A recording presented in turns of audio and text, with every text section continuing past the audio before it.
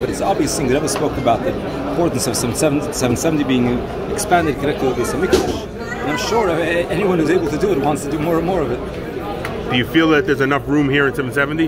Not yet. And we need, we need what is it, uh, uh, 20 million Jews have to come in. Definitely, we need, we need bigger, we need more of 770. Shakar.